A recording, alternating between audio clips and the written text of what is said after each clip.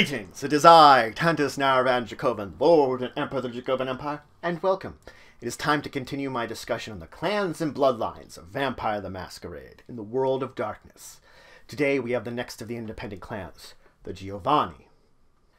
Now the Giovanni are an independent clan. They are the usurpers of the Cappadocians. They are the youngest of the clans of Cain, masters of potence, dominate, and necromancy. They live for both financial gain and necromantic power. I should say unlive, though. They are both a clan and a family. Their weakness is that when they bite and feed upon another, it does more damage than normal, so they have to worry about possibly killing off someone when they are feeding upon them. Now, the clan's antediluvian is Augustus Giovanni. He actually diablerized his sire, Cappadocius, in order to become a third generation. The family origin dates back to Rome, where it was a merchant family known as Ioveanus that actually wanted to learn more about bringing the dead back. So they dabbled into effective, they were mortals that dabbled into effectively the early portions of necromancy. With the fall of Rome, they moved towards Tuscany and settled in Venice. There they continued to study the depths of necromancy, what would eventually become some of the necromantic paths that the Giovanni clan actually followed. So it was about the 13th century that they changed their name actually to Giovanni with a slightly different spelling. And it was the 15th century where we find the modern spelling of Giovanni actually becoming into existence. Now, it was around 1005 that Augustus Giovanni was a prominent member within the family and a mastery of many of the necromantic arts. He knew about vampires. He had learned about them. He had gotten offers from many clans in order to be embraced into them, effectively because they were mortals that studied necromancy.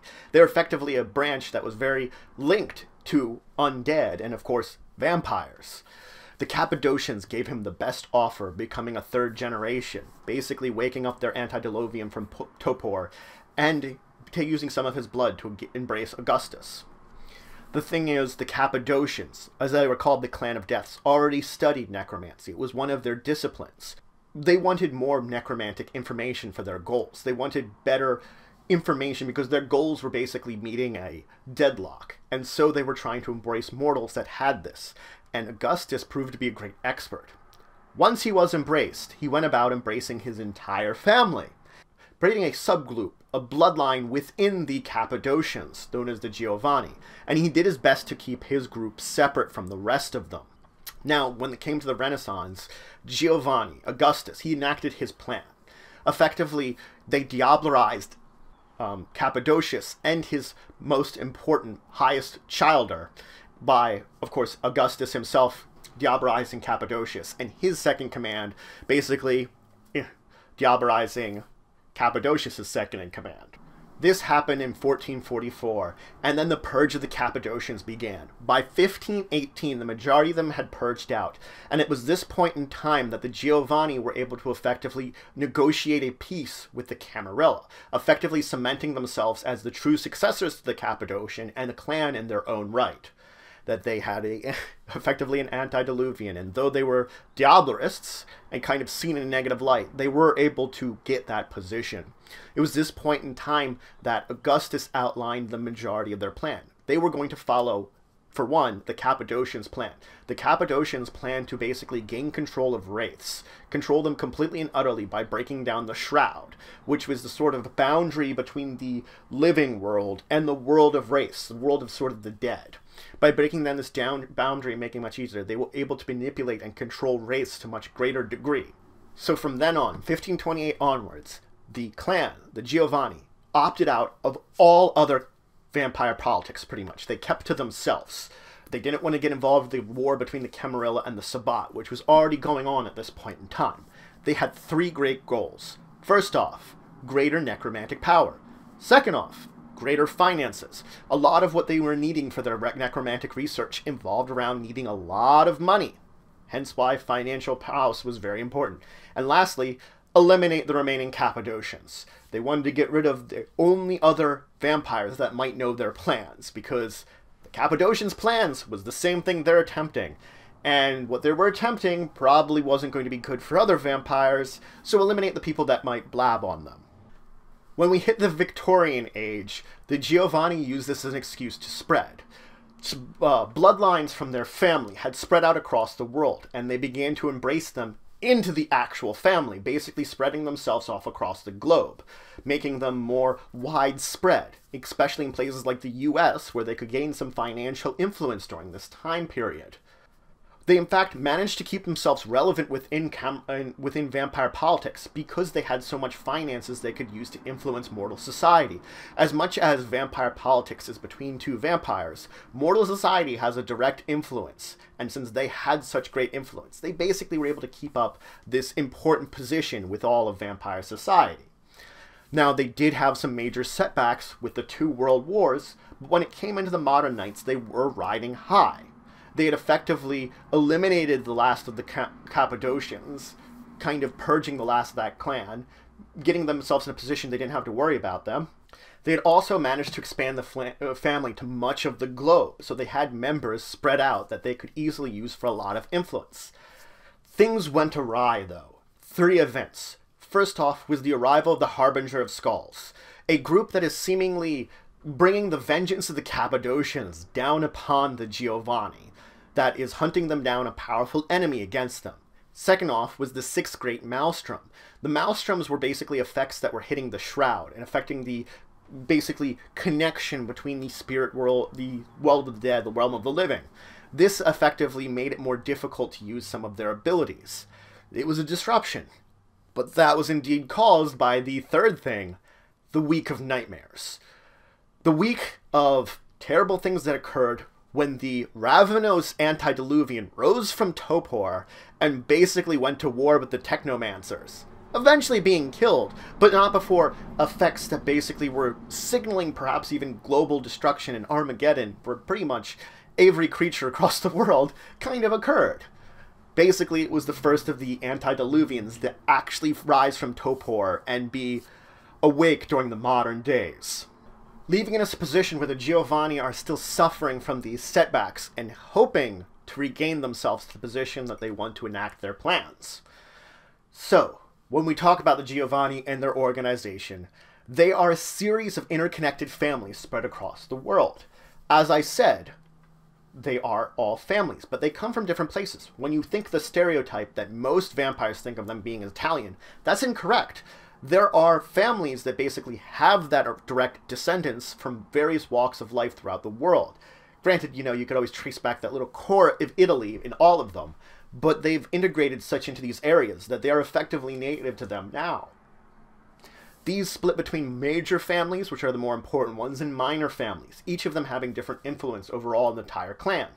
The family is basically the cross between a corporation and a mafia, and it acts very much so like that favor within the clan is based again uh, around performance and backstabbing of many different kinds is actually something day to day that members of the clan have to worry about.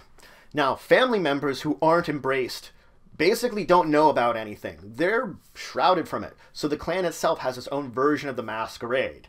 They just think their family is weird. Aside from the backstabbing between all the members and the incest that happens more often than it really should, Beyond that, they do not know about the, the cannibalistic, blood-drinking necromancers, which are the core of the family. Yeah.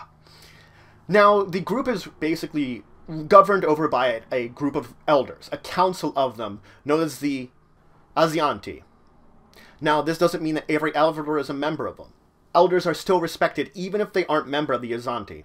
Now, they are, as I said, very family-oriented. This actually means once a Giovanni has been embraced, they may actually try to influence and look after their descendants for some time, for generations to come. Now, there is one variant of them, the Premascine, which are said to be sort of throwbacks to the Cappadocians. They actually have the pale sort of skin that the Cappadocians have. And they're able to learn the mortis path of necromancy without a teacher. This has led some to sort of distrust them, but so far they have been indeed loyal to the family. Now, when we talk about the Giovannis, they're effectively a family of ghouls. Ghoul families do exist that are out there, especially when we talked about the ones under the Tzimisce. But they tend to be as repulsive in degenerate as those families, but more subtle. They're very subtle about it and hide a lot of that terribleness that exists within them. They also tend to be incredibly sadistic. In order to control wraiths, it requires incredible fortitude, but it also requires you to effectively break them down. And using psychological warfare against a wraith to break it down and basically gain control of its mind is something that they have to practice. They're cruel, manipulative, and vicious, and they were this way even before the diabolization of Cappadocian. Now, of course, when they communicate with the outside world, they look much cruel and horrid. They don't try to show off this darker side to them. It's because the people that deal with the outside vampires and outside world are those specifically chosen to do so, and are the least likely to uh, show off the, the terrible traits which are deep within the clan. Now, ghouling is like an art to them. It's effectively taking someone that's part of the family, that has earned a name for themselves as part of the family, and bringing them into the inner circle. Making them learn about vampires and the supernatural world, shattering them down. So they, again, they've made an art out of this. Oftentimes they try to make these embraces memorable or mind-shattering, and they are very public spectacles to the family. Much the similar way, so is the embrace. The embrace tends to be semi-public too. It's made to have this memorable effect on bringing the Giovanni into the family proper. When you become a ghoul, you're effectively a made man. When you become a vampire, then you've basically gone up that next level and become an important person in it, an elder of the family. Sadism and weirdness are par for the course for the Giovanni, and most of it seems to stem from the fact that even when they are mortals, they spend much of the time only with the Giovanni family. They rarely even see people from the outside or travel the outside. They're kind of sh shut off from the world that kind of causes a lot of these problems within them. And, and the incest doesn't help either. It seems that this helps kind of cause the arrogance that many of them have, and the fact that they do tend to underestimate the outside world and those from it. Now, they do practice a form of Catholicism, but this is more similar to Lasombra, the fact that it's more in ritual and culture rather than actual practice. What they do practice is a twisted and dark version of Catholicism that is nothing like you would ever really imagine in a normal Catholic ritual. They have a deep connection with the spirit world and with, of course, the dead. They have very casual outlooks on torture, dismemberment, and death when you're doing this to one person, you can always bring them back as a wraith to interrogate them some more after you've torn apart their physical body. Now, they teach their people of the clan the most efficient tactics to get what you want. Seduction, bribery, and other underhanded tactics are high things to teach members of the family from very early on. Even as going as far as eliminating by killing the competition if it's really necessary. Now, the family has only effectively had one member, not outside the family, embraced. The, and this one has been there for 500 years. Marianna. Beyond her, there is no other outside the family that have been embraced and kept. She was embraced for a reason, and so she was basically allowed to stay within the family, as much as she hates them and tries to undermine them at every turn. Traditionally, you are supposed to embrace within the family, and you were supposed to get permission from someone before you are to embrace another from within the family. So permission is important, not necessarily a given, but because being embraced is a result of a performance, it's a gift. It is a favor that is given to you because you have done so well. Of course, if you're embracing someone that hasn't proven themselves, it's looked down upon, and especially from outside the family. If someone is embraced, they tend to be killed off. Now, the thing is, when Giovanni embrace, they do not traditionally care about generation. That's not as important as joining the family as a member, as a vampire. Granted, lower generation embraces do occur because of performance. If your success was much greater than someone else's success, and both of you earn the right to become a vampire because of this success, then of course you're going to get a lower generation than the other person. You're going to get a greater gift. Now, Giovanni, as I said, they're very family oriented. They though it isn't actually technically uncommon, try to avoid embracing within your family. That means if I am embracing someone, they don't want me to embrace someone from my direct descendants that are still mortals.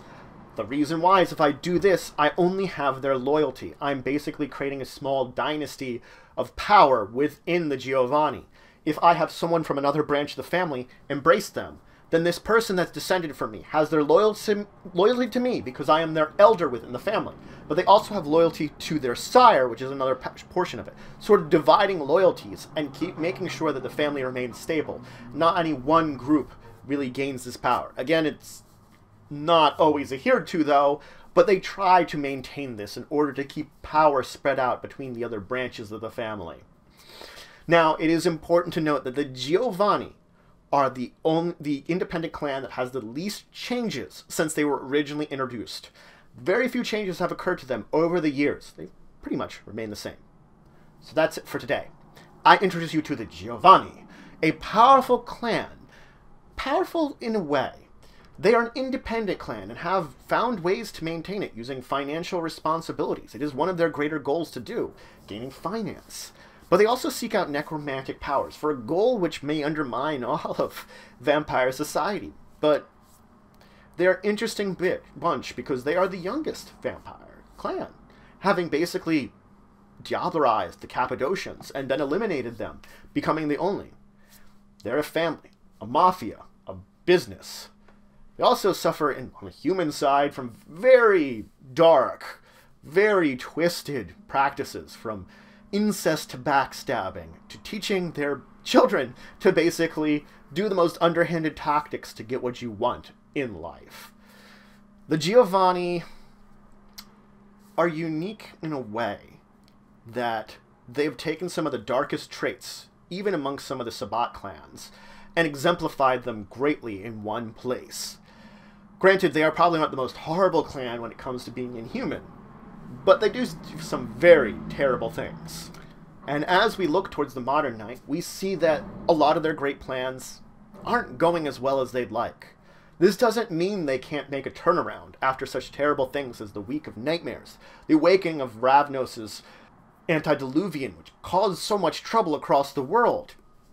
Perhaps they can still turn things around, complete the goals they always look for. We'll see in the future. So, if you have any questions, comments, anything you want to say, anything you think I left out, please leave in the comments below. Please like, share, and subscribe. It shows support the channel, the Empire, the work I do. If you want to show some extra support, you can always check out my Patreon, link in the description below. I will also link it below the White Wolf RPG and Media Facebook group that I'm a member of. I do recommend checking them out. They have other great White Wolf material you might want to check out. Maybe be able to find a group or such. Go ahead, check it out. But regardless, until the next time, I bid you farewell.